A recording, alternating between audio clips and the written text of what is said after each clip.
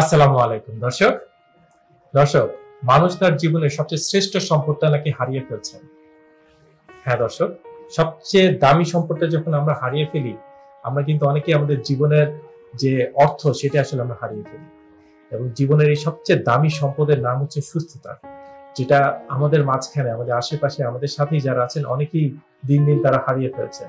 সেটা হতে পারে যে কোনো দুর্ঘটনা অথবা নিজের কিছু কিছু ভুলের কারণে। দর্শক ঠিক তেমনি আমাদের একজন বোন তার এই সম্পদটা হারিয়ে ফেলেছিলেন। কিন্তু এই ডিপিআরসি হসপিটাল আসার পরে তিনি তার জীবনের সবচেয়ে শ্রেষ্ঠ সম্পত্তি আবারও খুঁজে পেয়েছেন, আবারও বেঁচে থাকার স্বপ্ন পেয়েছেন। দর্শক, ঠিক তেমনি ম্যাজিক্যালি মাত্র আঠারো দিনে সুস্থ হয়ে ওঠা আমার এই বোনটি প্রথম দিন যখন এসেছিলেন, হুইল চেয়ারে করে এসেছিলেন, প্রায় সেন্সলেস অবস্থায় ছিলেন। কি অবস্থায় এসেছিলেন? আসুন দর্শক, একটু কথা বলে আসি। আমার নাম আমেনা বেগম মুন্নি আমার বয়স ছেচল্লিশ আমি চট্টগ্রাম থেকে আসছি। আমার মাসাল ব্যথা, ডান পায়ে, ঘাড় ব্যথা মানে ব্যথার জন্য মূলত ব্যথার জন্যই। ডান পায়ে উপর থেকে আবার নিচে নামে, আবার নিচ থেকে আবার উপরে উঠে।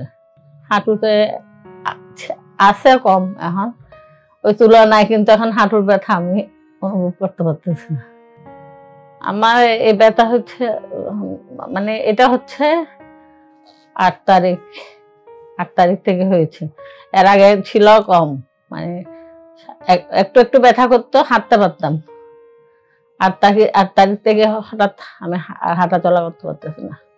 এর আগে আমার ডান পায়ে নার্ভ এক হাড় হারিয়ে হয়ে ওইখানে জেল বের হয়ে নার্ভে ইয়ে করছিল। উনি বলেছিল ইয়ে না করতে, কোনো ট্রাভেল না করতে ভালো কোনো কাজ বা আমি দুই মাস আড়াই মাস পর আপনি ওই ট্রাভেলটা করছি আর। ভারী কাজ টাজ তেমন করে নাই, কিন্তু আমি তো চেয়ারে বসে নামাজ পড়তে হচ্ছে আমার।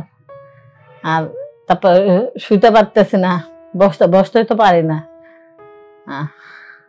বসলে আর উঠে দাঁড়াতে পারি না একদম হাঁট মানে বললাম না, আট তারিখ থেকে আমি একদম হাঁটতে পারি নাই কয়েকজন ধরে আমাকে নিয়ে যেত, আবার এনে বসাতো ওরকম কি বলব, সবাই মনে হয় মনে হয় আমি আর উঠতে পারব না হাঁটা চলা করতে পারব না, আমার লাইফটা এখানে শেষ। আমি চিটংয়ে ডাক্তার দেখিয়েছি দুই তিনজন, ওইখানে আবার এডমিটও ছিলাম। আমি তো কালকে সারাদিনে কান্না করছি।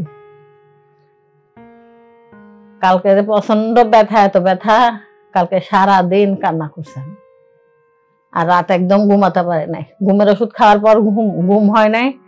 আর তারপরেও ঘুমাতে পারতেছি না। লাস্টে ডাক্তারকে না বলে আমি আর একটা কিন্তু মেয়েকে বলে আর একটা ঘুমের ওষুধ খেয়ে ফেলছি। আমি বলি আমি আর সহ্য করতে পারতেছি না। তুমি আমাকে আগে ডাক্তার দিয়ে ওষুধটা দিছে ওইখান থেকে আমাকে আর একটা ওষুধ দিয়ে দাও। ওটা খাওয়ার পরও দেখি সকালের দিকে আমার একটু ঘুম আসছে। বোন আপনার পাশে একটু বসে কথা হ্যাঁ বলি হ্যাঁ.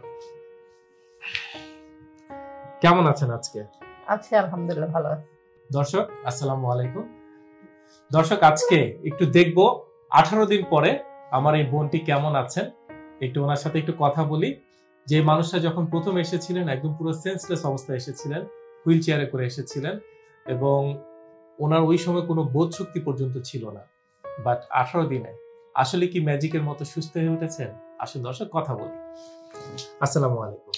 ওয়ালাইকুম আসসালাম। বোন আঠারো দিন পরে কেমন আছেন আজকে? এখন আলহামদুলিল্লাহ ভালো আছি। যেটা আপনি কিছুদিন আগেই বলেছিলেন যে আপনি এখন আলহামদুলিল্লাহ অনেকটুকু সুস্থ আছেন ভালো আছেন। যখন প্রথম এসেছিলেন আপনি বলেছিলেন যে আপনার কোনো সেন্স নাই কোন একদম টোটালি খারাপ অবস্থা ছিল বিছানা থেকে আপনি উঠতে পারতেন না। হ্যাঁ কারও সাহায্য নিয়ে আপনাকে বাথরুম বলেন বা নিজের খাবার নিজের ড্রেস সবকিছু আপনাকে করতে হতো। তো এই আঠারো দিন পরে আলহামদুলিল্লাহ কি অবস্থা আপনার? এখন আলহামদুলিল্লাহ আমি অনেকটা সুস্থ অনেকটা ভালো। এখন নিজের কাজ নিজে করতে পারি কারও সাহায্য লাগে না। হ্যাঁ? নিজে নিজে নিজে বাথরুমে যেতে পারি গোসল করতে পারি নিজের খাবার নিজে খেতে পারি। আপনার কি মনে হয় যে এই গত আঠারো দিন আগে এই মানুষটাই আপনার সেই পুরনো কথাটা মনে পড়ে কি আপনি নিজেই মিলাতে পারেন? মনে হয় যে এই মানুষটাই সেই মানুষটা ছিল? না পারি না। একদম পুরো মনে হচ্ছে না যে একটা নতুন একটা জীবনে এসেছেন। পেয়েছি, হ্যাঁ। তো স্যার কি বলেছেন যে এই যে যে একটা অবস্থা অপারেশন দরকার আছে বা সেরকম কি কিছু না বলেছেন? বলে নাই।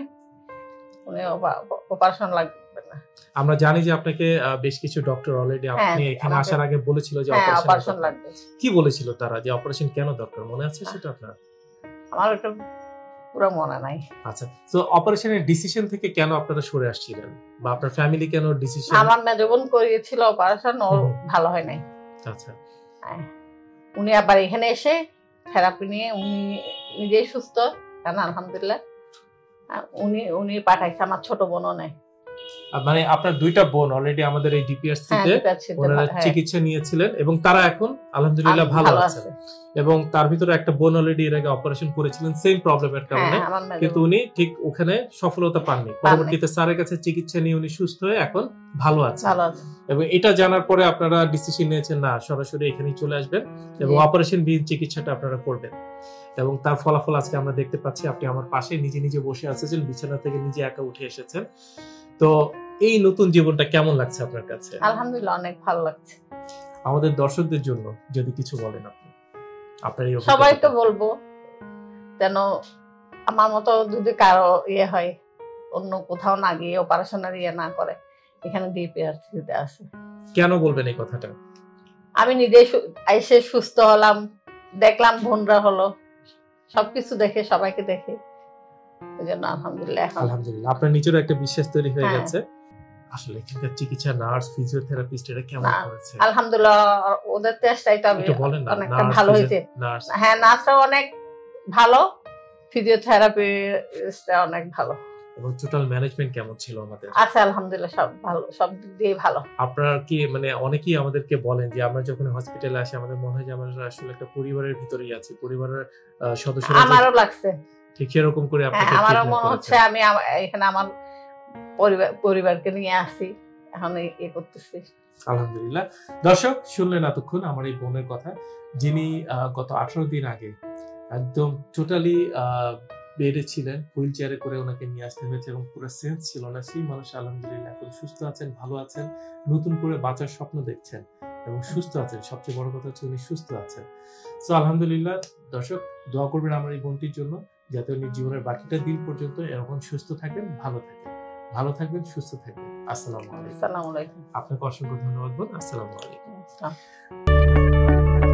আমরা জানি আপনার প্রিয়জন আপনার জন্য কতটা গুরুত্ব বহন করে। প্রপার ডায়াগনোসিস কনসালটেশন পেইন ও প্যারালাইসিস চিকিৎসা পুনর্বাসন আমাদের সব আয়োজনই সবসময় আপনাদের জন্য। চব্বিশ ঘণ্টা খোলা। আমরা চাই না আপনারা বারবার আমাদের কাছে ফিরে আসুন তবুও আমরা আছি সব সময় সর্বদা আপনাদের পাশেই। ডিপিআরসি হসপিটাল লিমিটেড আস্থা বিশ্বাস ও নির্ভরতায় অবিচল।